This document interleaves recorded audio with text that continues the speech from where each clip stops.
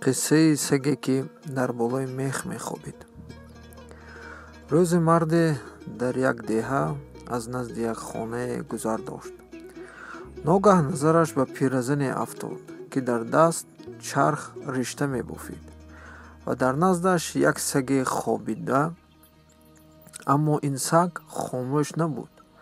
Ҳар замоне як овози инҷирос нолише мебаровард марди роҳгузар ба андеша рафту гуфт чаро ин саг нолиш дошта бошад чаро менолад?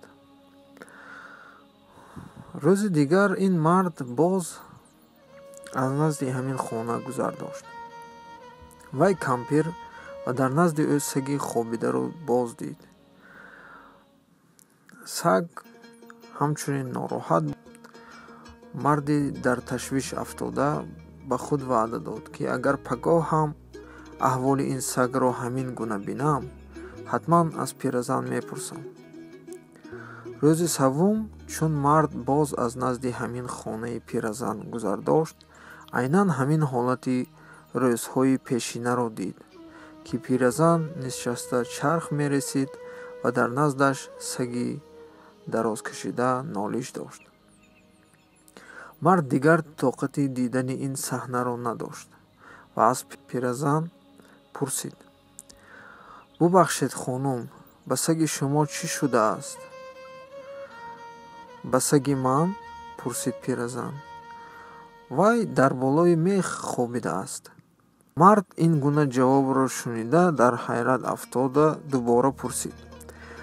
Агар ӯ дар болои мех хобида бошаду ба ӯ дардовар бошад чаро ӯ аз ҷояш намехезад. То мех аз шикамаш дур шавад.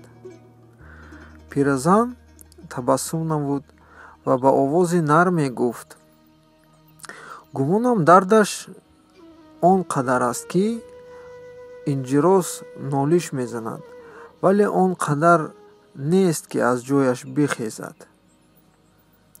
Поёни қисса хулоса. Аксарияти вақт дар ҳаёти вазнини мо худи мо айбдор ҳастем.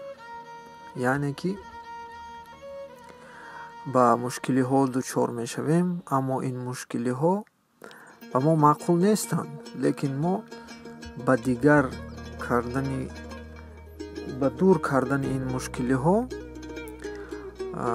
яъне саъе намекунему ба ҳамин тоқат карда ҳаёт ба сар мебарем ва аз ин қисса хулоса баровардан мумкин аст ки он чизе ки дар атрофи мо рӯй медиҳад яъне ки бар ин айбдор худи мо ҳастем. Ва дӯстони азиз ба шабақаи дарвеш обуна шуданро фаромӯш накунед. Худо нигаҳдори шумо